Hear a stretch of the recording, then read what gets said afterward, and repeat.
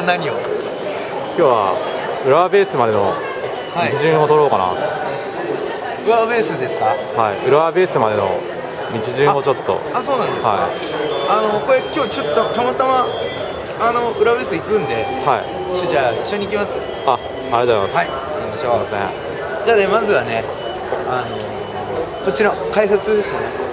改札を出て改札1個しかないかな。なんで あのまっすぐ出るじゃないですか、はい。出ました。そしたらはいこれね。はい。これの西口でございます。はい。はい。西口をまっすぐ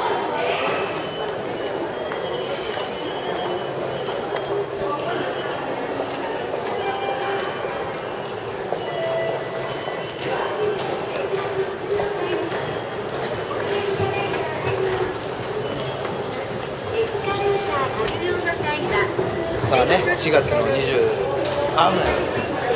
危ない危ない危ないあ28ですか。はい。はい、えー、と全国 MC バトルが浦和 S で開かれますんであの初めての方もこうやって来れるように。ぜひこのねあの道順を覚えて2回3回と足を運んでいただきたいなと思います。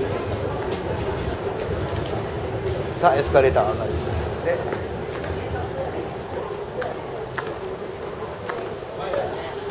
駅出てすぐ駅出てすぐあそこ右側。はい、えー浦和うなこちゃんっていう謎のあの何のあれなんかわからないずっとあるんですよね、はい。あれ何十年もあるんじゃないですか。わかんないけど。ああれはちょっと忘れてください。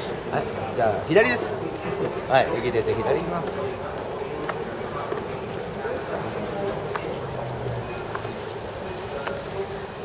でですね、えーあロータリーの話した方がいい？いや大丈夫です。あいいですか？スケボー禁止っす。両方禁止。はい。あのロータリーの中でスケボー乗っちゃダメです。はい。はい。大変なことになるんでダメです。でですねあのー、あここ交番。はい。はい。駅出て左側に歩いてくる交番があるんですけども、はい。あめちゃくちゃ見られてる。のはい。あの見なかったことにしてください なんか職質受けそうな感じでした今ねやだな、はい警察は敵だと思ってくださいバビロンって何言ってんだか、でですね、はい、横断歩道あの車来ないかしっかり見てね、はい、ここ一歩通行なんでね右から来なければ大丈夫ちゃんと手を挙げて渡ってくださいで、えー右ですだから浦和駅と逆の方向へどんどん歩いていく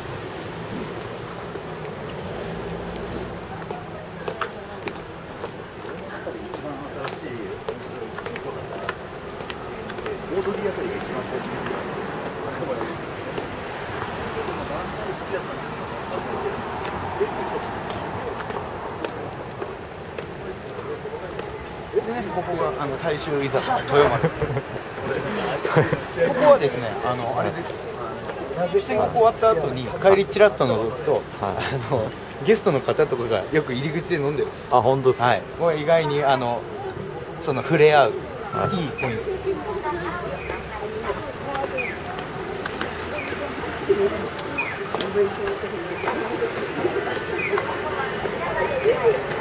こんばんはいはい、新しいスポーツは富士そばが最近できました。は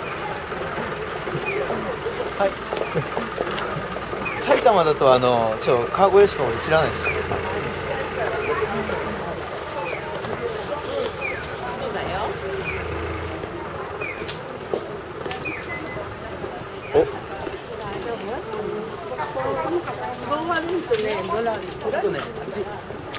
あそこにね、あの、美味しいラーメン屋さんあるんですけど、いいっす。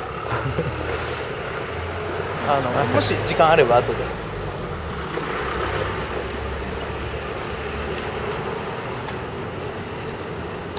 もう本当ね、あのーずっとずっと歩いてきます。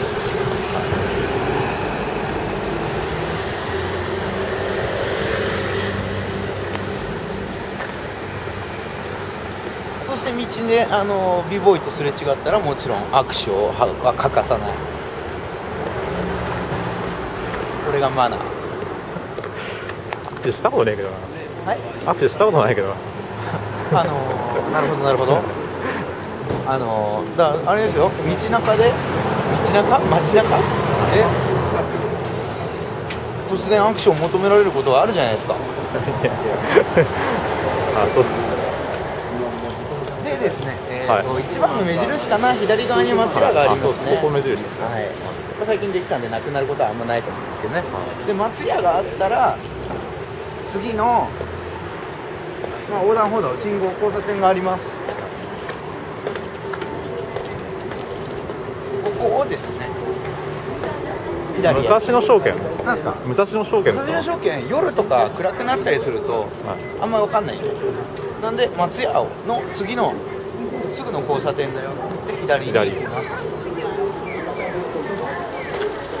こね狭い道なんであの車気をつけてくださあ優しい。いスケボー禁止でございます。スケボー禁止押しますね。道路でスケボー禁止でございます。は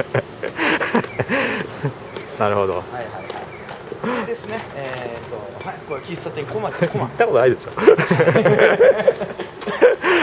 はい、まだ行ったことないです。はい。そしてですね、あのこの右側のここがですね、ちょっと何の店かわかあーすみません。わかんないんですけども、あの前まさきオンザマイクが出てきたっていうすごいあのびっくりスポットでございます。ワシントンホテル裏っすねこれはワシントンホテルの裏っすそうなんですか？全く知らないです。はい。でですね、もうここまで来ると例えば戦国の当日、まあお客様がねいらっしゃる時間っていうのはやっぱもう予選が終わってたりとか、もう大体あのゲストの方が、まあ、ライブの方がリハーサルに来てたりとか、でもうあのーここら辺 b ボーイめっちゃいると思います。はい。なぜかわかりますか？ここ。はい、ああるねあるね。ベースはい。クラブベース ST215 つってね。はいここでございます。はい。このこのこれ最翼会館。はいはい。こちらがあのベースが入ってるビルでございますね。そうですねはい。このはい。ここのそうですね。はい。地下はあのバンドの方たちのライブハウスなので違います。ここをスルーして右の階段を上がる。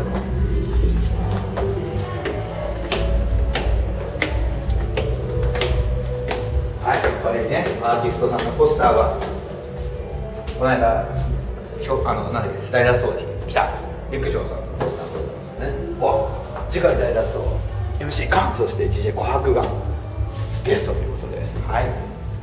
もう戦国貼らないからベース嫌い戦国のポスター貼ってないからベース嫌いいや、持ってこないのここが、はい、クラブベース。はい、こういう入り口でございますね。